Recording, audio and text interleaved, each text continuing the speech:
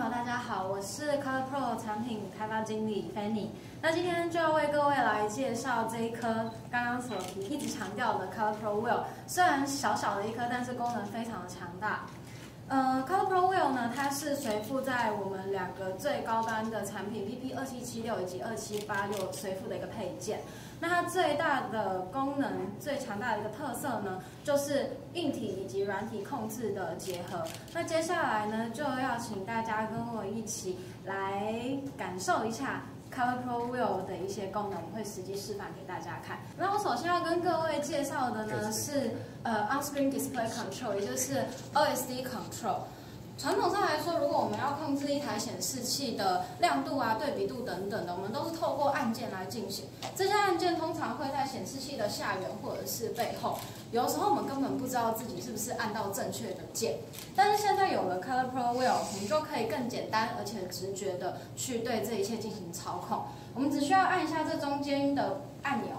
就可以叫出 OSD 的菜单，再按一下就可以进入主选单。这上面所有的东西都是各位可以呃调整的。那假设我是一个摄影师，呃，拍影片的摄影师好了，我可能想要把我的荧幕的色域调成 DCI-P 三，那就很简单，我只需要滑动这个滚轮到 Color Mode 这边，再滑动一下，选到 DCI-P 三，再点击一下中间的这一颗按钮。这个显示器现在就可以切换到 DCI-P 三的色域。那当然这只是其中一个例子，这边还有很多东西可以进行调整。那么第二个要跟各位介绍的呢，就是校准的部分。我们都知道 Color Pro 顾名思义，我们最设计 Color Pro 产品最核心的价值呢，就是色彩精确这件事。那所以我们每一台 Color Pro 的产品在出厂的时候呢，都有在工厂进行很严格的色彩的调教。但是随着时间的推移，当你使用你的显示器一段时间之后，我们的显示器的颜色就会开始出现偏差。这时候我们就需要对显示器去去进行校呃颜色的校准。要对显示器进行颜色的校准，就需要有一个色彩校正器。那它一个色色彩校正器都会需要几百块美金。但是如果有了 Color Pro Wheel，就可以帮你省掉那几百块美金，因为 Color Pro Wheel 本身呢，它就是一个色彩校正器。如果我们打开这背后的保护盖，里面就有一个 sensor，这个 sensor 就是拿来做校准使用的。那么就要搭配我们的 calibration plus 这一个软体。当我们把 Color Pro Wheel 连接到呃显示器之后，calibration plus 就会侦测到我们现在所使用的显示器是哪一台，以及我们所使用的校正器是哪一台。这边的话就有一系列大家可以呃进进行校准的色域。假设我今天要选择针对 Adobe RGB 进行呃校准的话，我就选它。选完以后按这个 Start Calibration，之后我的荧幕上面这正中间就会出现一个蓝蓝蓝色的圈圈。这蓝色圈就是我要把我的这一颗 Color Pro Wheel 放在这上面。这边有个配重块，我们要调整它到什么程度呢？到这一个 wheel 可以完全的平贴在显示器上面为止。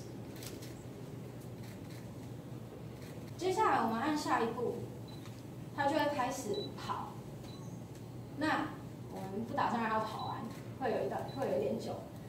总之跑完以后呢，我们这边就会出现像这样子的一个色彩的报告。这色彩报告上面就会有这个 RGB 的三个点的 X Y 的坐标，另外也会有 Color Coverage，就是呃针对我们刚刚所选择的那一个色域的覆盖率，另外也会有 Delta E，Delta E 是我们在看色片的一个呃比较重要的一个依据。如果 Delta E 小于二的话呢，我们通常人眼是感觉不出来那个色片的。大家可以看到我们的。Average 就是平均的 delta E 都是在小于二的状态。那就把时间交给 Fanny，还有 Edison。Hello，大家好，我是 Edison。那今天很开心也很荣幸可以跟菲尼一起为大家做这个体验和示范。对，那接下来我们要为各位示范的两个产品，分别会是 Color Pro Sense 以及 Color Pro Integrate。这两个产品我们会跟 Edison 一起完成接下来的示范。首先，第一个要为各位介绍的是 Color Pro Sense。Color Pro Sense 如同刚刚 Marco 有提到的，它是我们跟偏痛合作的一款软体，里面有六本偏痛的色彩指南。那大家可以想象，创作者跟创作者之间或者是跟印刷工厂之间，或者是呃跟你的客户之间，如果我们要沟通色彩的话，就需要有一个共同的语言。这共同的语言呢，通常比较常用的就会是 Pantone 的色票，或者是 Pantone 的色码。那呃，透过 Color Sense，我们就可以查找在你的海报啊，或者是作品上面某一个特定的颜色所对应到的最接近的 Pantone 的色号是哪一个。那要怎么做呢？我们拿 Edison 的作品来作为示范。首先，第一步我们要先按这个滴管工具，选择它以后呢，我们就选择假设这个橘色好了。点选它之后，这个橘色就会显示在中间的这个圆形的区域里面。那像我刚刚提到的，我们有六本色彩指南嘛，在这边下拉的选单这里点下来，我们就可以选择我们要在哪一本里面去进行查找。假设我今天选择第一本 Formula Guide Solid Coated，之后呢，我就把这个一样把这个保护盖拿掉之后呢，把它放到这个上面，按 Detect Color。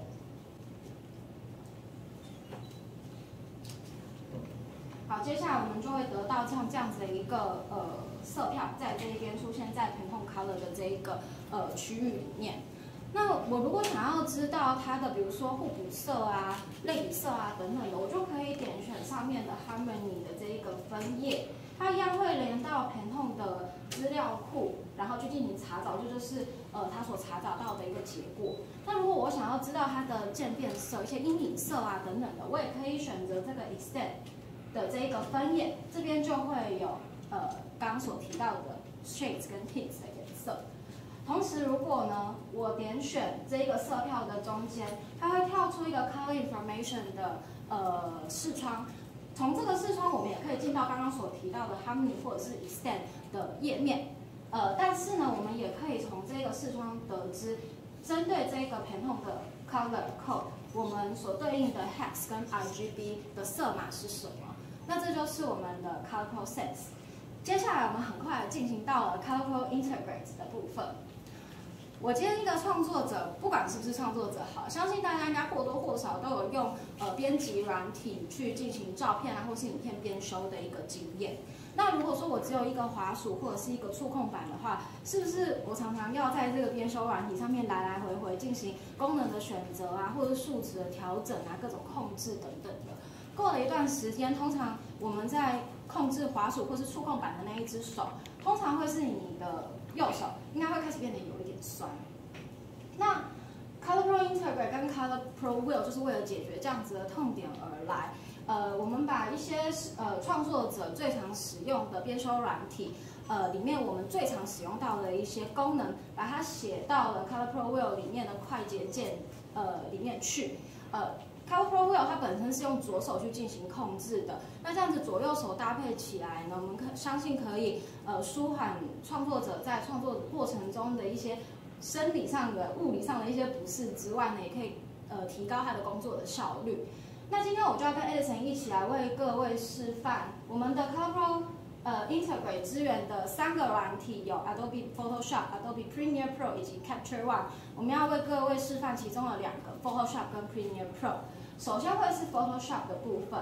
那 Photoshop 呢？我们目前 Color Pro Wheel 所支援的功能有四个，一个是 Eraser 橡皮擦，Stamp 图章，呃，Brush 笔刷，还有 Healing 修复工具。我们接下来就请 Edison 用他的作品来实际为我们做呃示范。OK，那这是一张我在俄罗斯贝加尔湖拍到的照片。那时候就是在做公路旅行，然后。就看到前方的这个公路啊，地势起伏是蛮明显的，所以就想说，那不如我就拿一个长镜头来拍一张比较有压缩感的照片。那我通常在处理我的旅游摄影的照片的时候，其实我会希望可以尽可能减少画面中的瑕疵，那这样子观众呢看到照片啊，会觉得哎主体还蛮明显的。那呃，刚这个 Color Pro Wheel 就是可以在四种功能里面去做切换，我最常用的其实就是啊 Clone Stamp 复制印章的。这个功能，那首先我就可以用我左手大拇指在 Color Pro Wheel 右呃这边上面去把它切换到，把它切换到复制印章，那就可以开始对这个图片去做编辑。